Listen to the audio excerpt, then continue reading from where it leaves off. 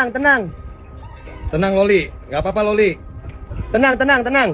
Tenang aja, tenang. Tenang, tenang aja. pasti akan berontak tapi nggak expect aja ternyata dalam keberontakannya dia telepon itu laki-laki ya sempet telepon sempet ngomong juga sama itu laki-laki lumayan nantangin sih katanya Ngancam. dia ngancem juga katanya dia mau datang ke sini tapi saya tunggu orang saya tadi datang ke sini juga dia nggak menunjukin batang hidungnya sama sekali terakhir berita yang saya tahu dia udah kabur katanya bawa tiga koper dari rumahnya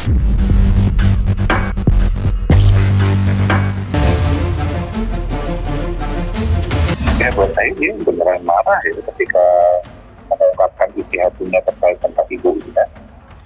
Tentang apa yang diperbuat ibunya tentang bagaimana namanya interaksinya dengan ibunya. Ya buat saya itu benar-benar eksplosif kelihatan dari apa matanya yang terus kemudian bibirnya yang menipis itu memang ekspresi marah. Nah pertanyaannya mar- marahnya dia kayaknya tidak bisa justifikasi yang apakah yang benar itu loli ataukah yang benar itu teknir gitu loh. Karena eh, karena bisa saja dan fakta saja eh, seorang anak punya persepsi sesuatu tentang orang tuanya sementara orang tuanya niatnya misalnya baik gitu. Bukan berarti juga dikira pasti benar ya. Kita kita nggak bisa masuk pada situ. Yang paling paling penting di sini adalah bahwa Loli beneran marah. Ini adalah respon terhadap apa yang baru saja dialami dia dan ini ter, eh, terkoneksi langsung dengan ibunya Malam. Eh, karena memang ibu dianggapnya dan memang ibunya yang melakukan gitu. jadi buat saya eh, bukan akumulasi. Karena kenapa? Karena dia sudah terlalu cukup sering lah ya menyampaikan kepunan melepaskan kemarahan. Itu bukan sesuatu yang tadinya dia menyerang dia nggak naik. Kalau tadinya dia nggak ngasih anggapan apa apa terus kemudian sekarang meledak ya bisa jadi itu akumulasi. Tapi kan itu jadi buat saya ini adalah sebuah respon dari peristiwa yang barusan terjadi dan peristiwa itu sangat menyinggung ibunya. Ini adalah sebuah sesi ibu dan anak barengan gitu. Jadi jangan kemudian mentang-mentang lolinya aja yang teriak-teriak kemudian lolinya jadi yang salah.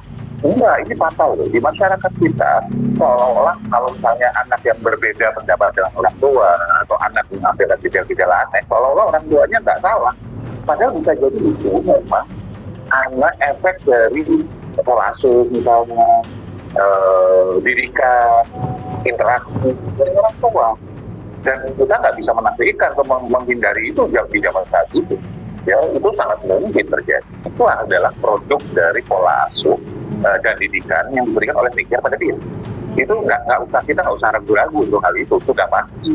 Semua anak itu adalah hasil produk dari orang tuanya. Selama anak itu tinggal bareng orang tuanya ya, bukan tinggal bareng nenek kakeknya ya. Kalau anak tinggal bareng nenek kakeknya, produk dari nenek kakeknya, gitu istilahnya. Nah, eh, keluaran pendapat tersebut bisa beda. Ada yang kemudian jadi reaction atau misalnya emosi menangis eh, atau histeris itu ada yang tantrum, ada yang kemudian dia membuat me- sabotase pada dirinya, jadi kayak gagal terus hidupnya. Ada sebagai sabotase atau sebagai untuk nyiksa orang tua itu ada. Dan itu macam-macam bentuknya.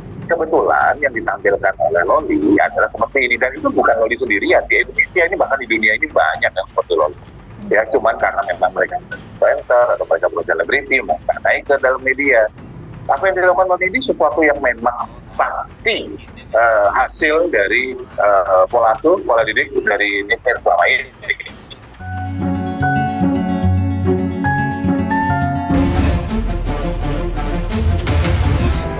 Nggak iri sih makanya kalau Loli mah kayak gimana ya?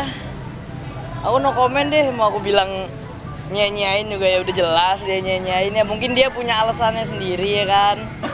Mungkin dia terpengaruh sama orang juga apa gimana kita nggak tahu kayak gimana fakta mungkin kita lihat apa yang ada di media kan kita nggak lihat depan mata kan. Kalau misalnya aku di posisi Loli nih bisa memaafkan ya gitu. aku di posisi Loli nih abahku nih kita nih. Emang bikin salah apa dia kita bikin salah apa ya kan kita nggak tahu ya mungkin lolinya gimana kan ya. Ya kalau aku jadi loli aku hidup seenak-enaknya udah nggak ada yang lebih enak dari aku hidup ya. Iya dong. Ya dia menyanyiakan itu ya nggak apa-apa. Tapi kan sekarang aku udah udah udah balik sama mamanya kan. Iya, hari ini bagus. dijemput gitu. iya. Ya. jujur aku prihatin aku nggak tega sih. Kayak aku malamnya tuh aku ngikutin banget by the way berita dia. Aku tuh ngeliat dia klarifikasi apa kayak ada yang salah lah nggak nggak pantas seorang anak bilang kayak gitu ke emaknya. Apalagi mama loh ini seorang ibu ya.